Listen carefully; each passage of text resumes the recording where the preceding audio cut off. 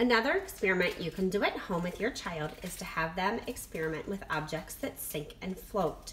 Get a large bowl of water and allow them to pick out toys that they want to test. Check the toys to make sure they won't get damaged if they get wet. For each toy, have your child tell you if he or she thinks that it's going to sink or float before they put it in the water. All right, if it sinks, it's going to go down to the bottom of the bowl. And if it floats, it's going to rest on top of the water. Which one are you going to start with? Uh, this All right, do you, and this. do you think it's going to sink or float?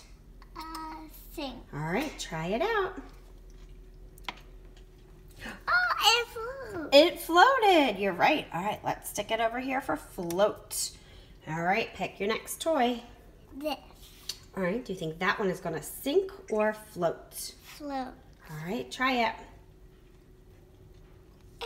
You're right, another one that floated. Okay, This. sink or float? Uh, sing. Try it.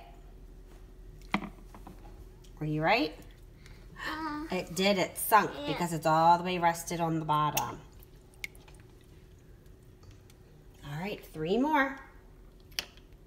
this is gonna maybe sink. Maybe sink. All right, try it. Uh, What's it doing?